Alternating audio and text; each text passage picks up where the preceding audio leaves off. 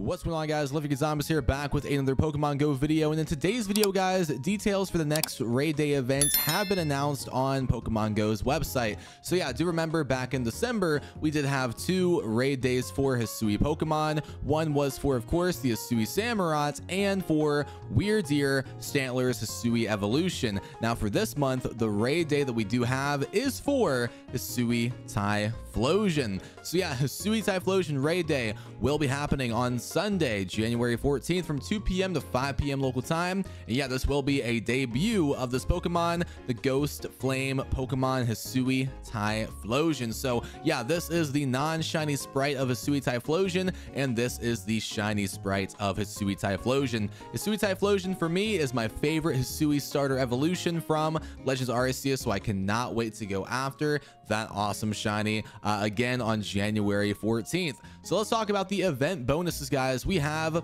five free additional raid passes that you guys will receive on this raid day. So six free passes in total, five free passes plus your daily free pass.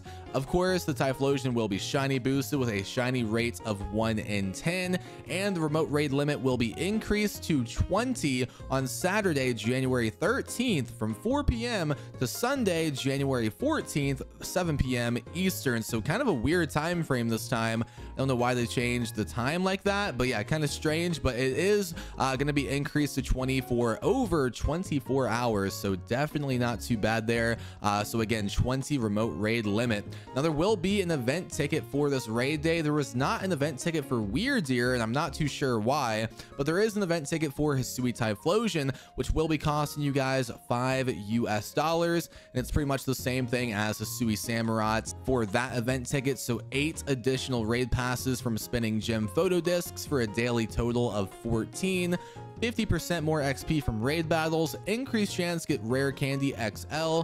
The XL rare candy drop rate is pretty good from these raids, and two times Stardust from raid battles. So yeah, the ticket definitely is not too bad. I mean, you do get your money's worth. You're paying five bucks, and you get that that eight raid pass bonus from spinning gym photo discs. So yeah, definitely not too bad of a ticket. I would recommend the ticket if you guys do plan on doing a lot of raids for Typhlosion. If you're not going to be doing too many raids for Typhlosion, then I would not recommend buying this ticket. So again, this is our third Hisui raid day so far this season. We had a Hisui Samurott, Wyrdeer, and now a Hisui Typhlosion. So therefore, next month in February, there definitely should be an Hisui Decidueye raid day. That is the last Hisui final starter evolution raid day that we need to get during this season. So yeah, are you guys more excited for Typhlosion or Decidueye? Let me know in the comments below. Thank you guys so much for watching. If you enjoyed today's video, drop a like on the video, subscribe for more, and I'll see you guys in the next one.